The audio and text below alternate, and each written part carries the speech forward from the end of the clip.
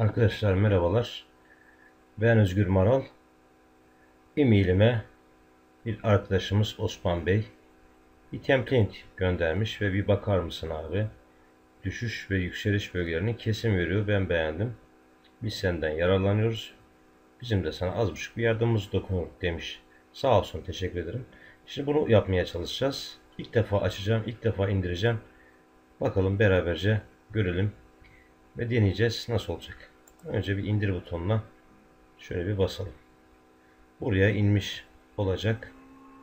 Bunu şimdi açmak istemiyorum. Dosyalarım çok fazla orada. Çok kalabalık ve kirli bir görüntü sergiliyor. Durdurup açacağım arkadaşlar. Evet arkadaşlar bunu masa üstüne açtık. Şimdi sağ tıklayıp içinden çıkanları alacağız. Klasöre çıkart diyelim. Buraya getirdik. Keşke bir de ölüs taraması yapsaydık. Neyse. Açtık şu an. Bakın burada bir indikatörler var. Bir de templates var. Hem de bir template'i MT4'e nasıl giydirebileceğimizi göstereceğiz. Indika of çok da kalabalıkmış. İndikatör kısmı. Ama madem söz verdik şöyle bütün indikatörleri bir kopyalayalım.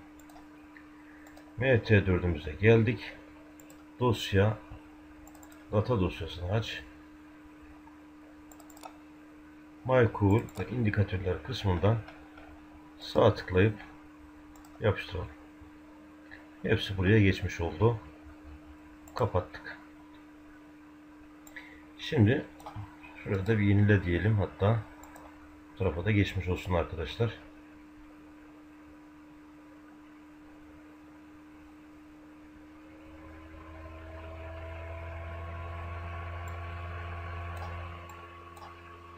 Halen dönüyor.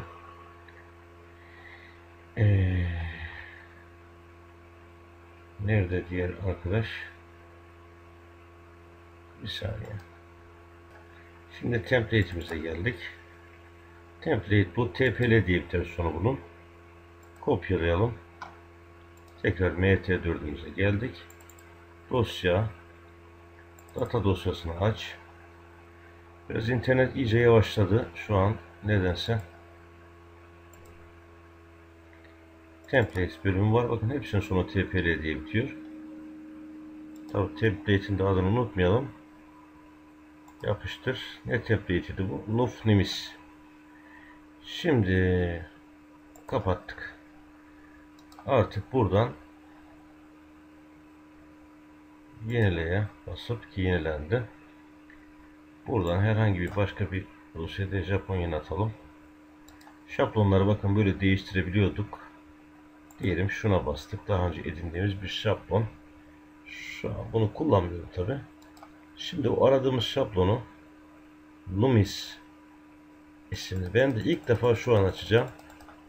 Nuf Numis'i tıkladık. Buraya şablonun açılması lazım. Şimdi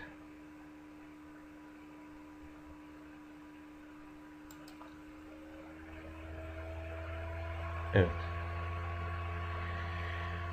Böyle bir şablon göndermiş arkadaşımız bize. Tabi bunu bir şekilde biraz epey bir bakmamız gerekiyor. Neye göre alıyoruz, neye göre satıyoruz.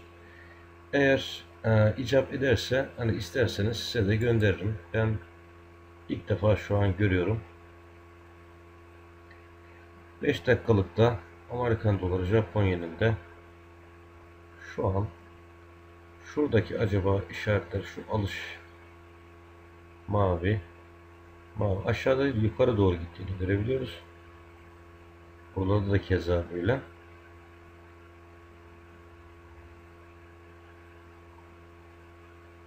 Şurada iki tane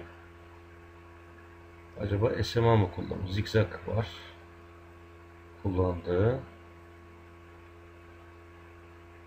Şöyle kırmızılık. Mavi galiba alım sektörü olduğunu gösteriyor. Şu da otomatik galiba alım veriyor 1.5 bakalım şimdi bir şu an alınmış gibi gözüküyor buradan şu RSI ile beraber galiba bir şeyler var CCI var Açıkçası alımdaymış gibi gözüküyor şu an burada bir dakikası ne vaziyette? Bir dakikada da alım gözüküyor. 1.5 şurada otomatik sinyaller. Bunu Olim Trade'e gidiyorum. Şimdi bunu tabi denemede yapacağım. Çünkü ilk defa bakıyorum.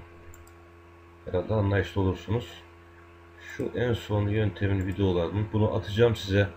Bugün yarın belki pazar günü atarım. Muhteşem bir video çektim. Şu an sürpriz olsun. İki video, iki yöntemi aynı anda kullandım ve güzel başarı elde ettim. Şimdi neye bakıyorduk burada? USD Japon yeni. Alım diye düşünüyorum mesela verilerden. Alıma bir tıklayalım bakalım ne olacak. Bu template bize acaba ne katacak? Deneyeceğiz. Bakın 1 dakika, 5 dakika, 15 dakika, 30 dakikada bu alım öngörüyor. Şu an şurada bir kırmızılık var. Buralar yeşil. Şuralar dur demek mi acaba? Bir de bunun keşke açıklamasını bir gönderseydi. Ama şuradan anladığım benim şu tablodan eğer yanılmıyorsam alım gibi gözüküyor. Şu kırmızı ne acaba? Bunların her birinin bir manası vardır muhtemelen. Deneyip bakacağız.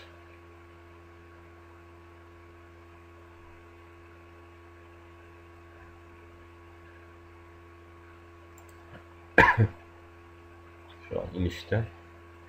Şuradaki verilere göre bakalım. 1-5 dakikası alım diyor bunu. Şurada acaba alımın bittiğini mi göstermeye çalışıyor? Bir kez daha bir alıma doğru gidelim. Belki ikinci adım falan filan havasıyla gelecektir bu. Gözümüzde burada. Aşağıdaki şunlar satış olduğu belli. Kesin satış. Alımlar, CCI.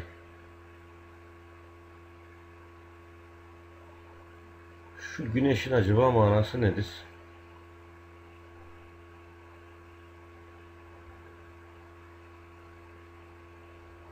Beyazlar alım, siyahlar şey şu yukarı kesmiş. Hangisi hangisini kesmiş? Nelerden oluşuyor bu? SMA olduğunu düşünüyorum bunların. Moving coverage olduğunu düşünüyorum. Düşünüyorum. Bakalım bu ikinci olayda da mı kaybediyor yoksa bu arkadaş? Yani bilemedim tabii ki. Sadece bir deneme. Şeyi göstermek için de daha çok e, template ve indikatörler MT4'e nasıl giydirilir? Yoksa sonuç iyi gitmedi şu anlarda. Ne anlamamız lazım burada bilemiyorum.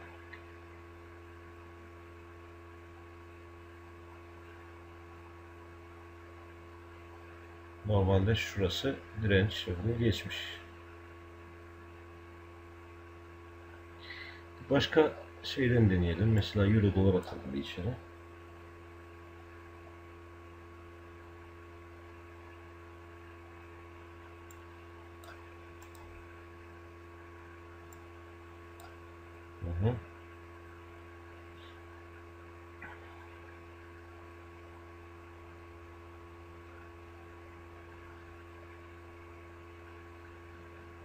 Kırmızıdan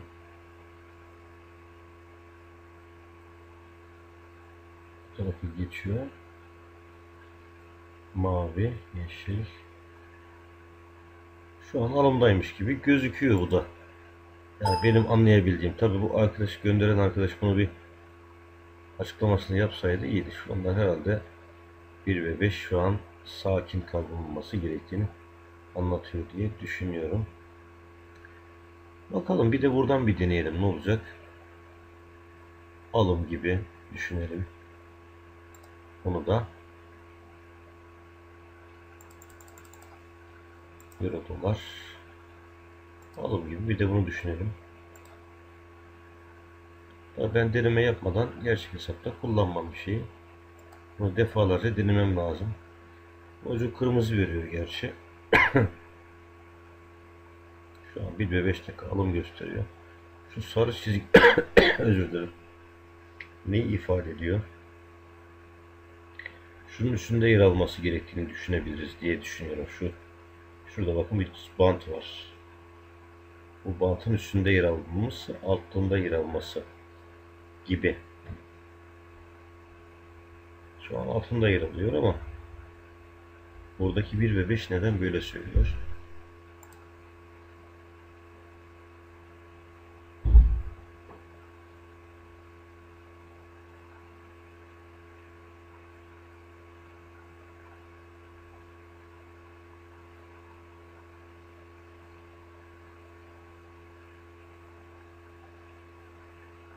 An bir kazandı bir tane. Mavi çizgi nereye? Ha, kırmızı gidiyor ucu. Kırmızıya dönmüş ucu. Zikzak da var bunun içinde. Renkler pek hakim değil ama zikzak indikatörü birçok indikatör kullanılmış. Sayılarını da gördünüz zaten orada.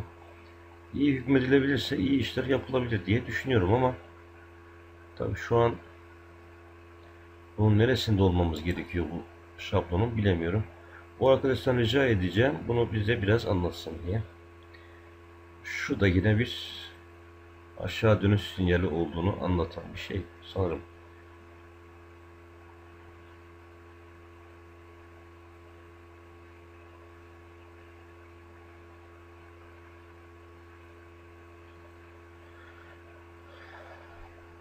Bu çizginin de üstünde kalmış.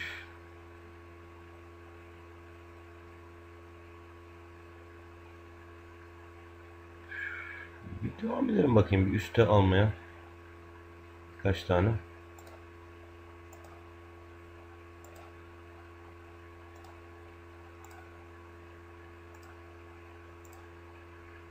O arkadaşlar bir rica edeceğiz yani başka türlü bunu ancak deneye yanıla bu çizgilerin anlamı nedir? Bir de internetten de araştırayım bakayım bunun kullanımını. Şu an net bir şey bilemiyorum yani söyleyemiyorum. Bilmediğim ilk defa kullandığım gördüğüm bir template. Biraz karışık evet. Ama nasıl?